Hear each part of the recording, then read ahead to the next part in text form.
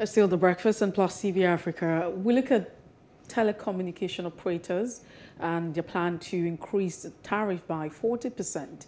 Uh, we do have an expert who joins the conversation, Okonu Abdullahi.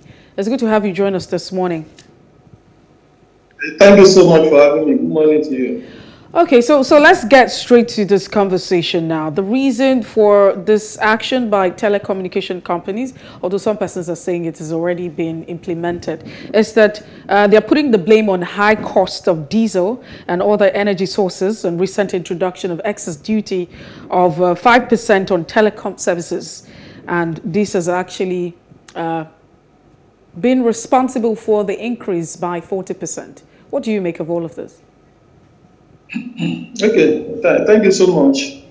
If you are to go by what we have been experiencing over time in this country pertaining to high incessant increments in the cost of living, uh, you may want to say that uh, for the operators to come with this uh, idea of uh, increments in increasing the the tariff across board on the on their services.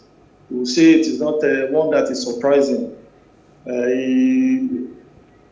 it is not surprising. Taking a cue from, uh, for example, the electricity tariff that was jacked up, uh, if not for the resistance on the part of the organized labor, uh, by now the petroleum pump price would also would have been jacked up. So for this also, like I said uh, earlier, it is not surprising that uh, they are coming with this.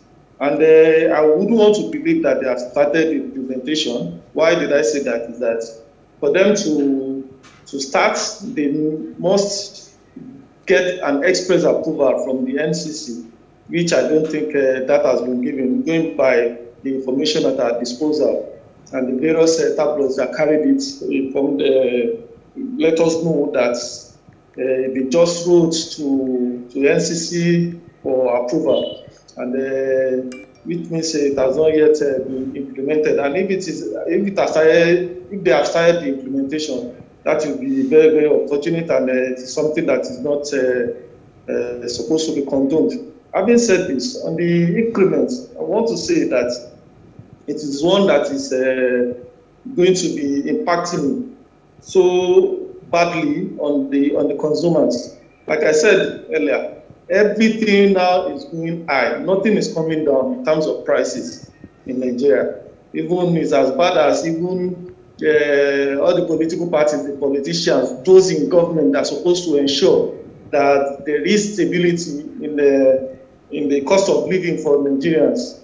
Their own nomination forms too are also going high they are also raising the, the, the fees for their various uh, nomination fees, I mean, for their nomination forms. So this to tell us that uh, these people do not have the best interest of, our, of Nigerians, of the masses at heart. All right, and, uh, Abdullahi. It is, it is Abdullah, uh, so fine, let's leave the issue of um, nomination forms um, increasing by to 40 million and 100 million. But let's talk about um, the impact of all of this. Now, from what we hear, uh, SMS, uh, which actually goes for about 4 naira, will now have to increase to about 5 naira 61 kobo.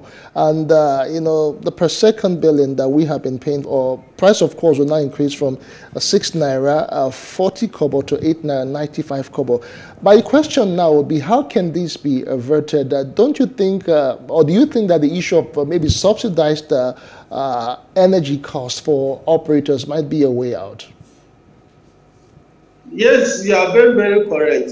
That can also be a way out, but uh, I don't really see if that will see the light of day. Why did I say that? Is that uh, you remember, you recall that uh, the government has persistently told us that uh, the high cost of subsidy on the, the petroleum and the, even electricity power supply has been one that cannot be sustained. So if we are coming with this idea also that they should subsidize for the operators, uh, it will, I don't think uh, it will be a welcome uh, development for them. I think the most important thing is for us, rather for us to be tackling the symptoms. We should rather tackle the ailment itself, the sickness, the disease itself is what we should tackle.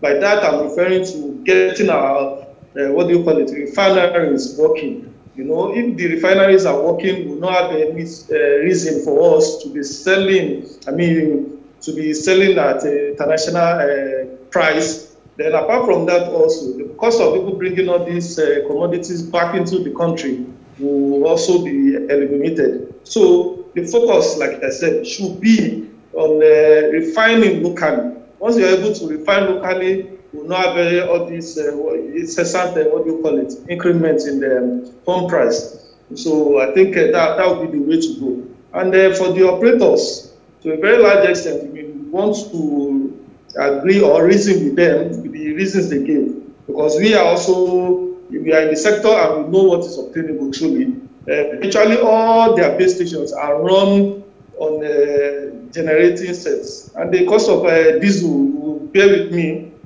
has been going high for in the last uh, couple of, uh, what do you call it, weeks going to months now. So then apart from that also, the issues of uh, uh, touts at various locations, before you, before they, what do you call it, because before they offload uh, diesels to all these base stations, you see a lot of cars coming around and they seeking, I mean, collecting money before you can offload and uh, you power the generating sets on, the, on those very uh, those sites. So that also is also impacting on the cost of doing business. And they talk of other, what do you call it, the logistics as well. So the, notwithstanding that, I think, uh, like I mentioned earlier, the best would be for us to be, uh, what do you call it, the refining locally. Then apart from that also, the government should also look at that area of uh, touts everywhere you go to and uh, trying to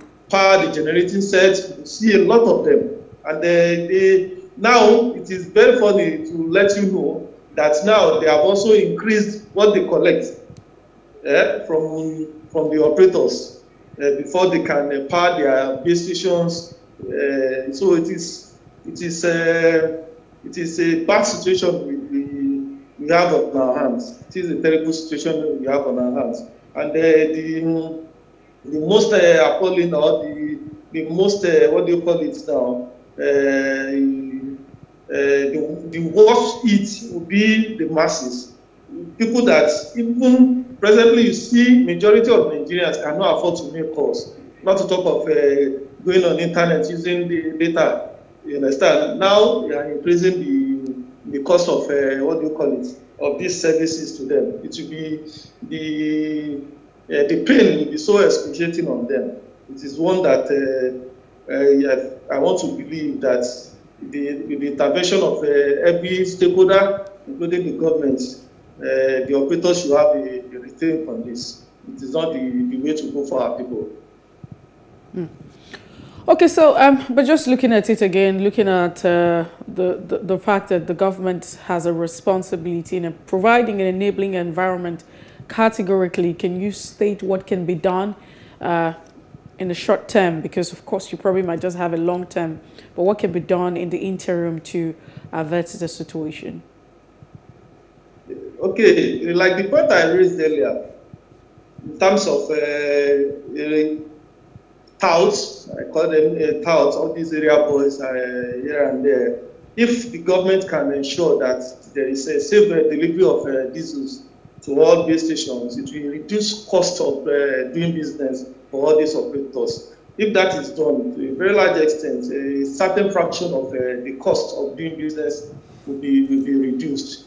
So if they look at that, because I tell you, it is not, it's running into several hundred million millions uh, of naira, if not going into billions. Uh, I must, I must let you know. So this is a lot of money that people that do not work for for the company and uh, they are just making a good money without anybody checking them. So this will come in form of uh, uh, sec you can to a very large extent see it from the angle of uh, insecurity because if you fail to settle these boys, once you they may one prevent you from uh, offloading your what do you call it uh, the diesel. Then apart from that, if they even allow you to do so, Uh, before you know, before you can come back, they can also do what? Uh, demolish or destroy, tamper with your base stations. And uh, so, if government can look into this, it will reduce the cost of uh, doing business for the operators, like I said earlier. All right. And a very good, uh, a very good point was also raised earlier by Austin. Uh, though I was pessimistic about uh, the point he raised, which is uh, giving subsidy to to these uh, operators. It is, it is it is doable if the government sees it as uh, one that they are not necessarily doing the favors to the operators, but rather they are doing it for for Nigerians. It is also a way to go. All right, thank you. Uh, to them, yes. All right, thank you so much. Uh, we have been speaking with um, Okonu Abdullahi. He is the General Secretary of the Private uh, Telecoms and Communication Senior Staff Association of Nigeria, Texan. Thanks for sharing your thought with us this morning. Thank you so much for having me. All right, that's indeed the size of the show. So if uh, nothing is done in the interim, Nigerians may have to be paying a lot more Nigerians to already pay. text at them to make calls. Some service providers have already gone ahead to implement all of that. Probably might just be a difficult time to be a Nigerian. Fingers across, let's see how relevant stakeholders step into the situation. But like Justin mentioned earlier on, uh, that's the size of the show. We will return tomorrow. It would be an exciting time. Uh, If you missed out on any part of the conversation, it would be all right to follow us on Facebook, Twitter, and Instagram. And do subscribe to YouTube channel. We're at Plus TV Africa and Plus TV Africa Lifestyle. I am Mercy Ebokpo. Have a fantastic day. And I'm Justin Akadonye. Many thanks for being a part of the show. Stand by for the news, which comes up top of the hour.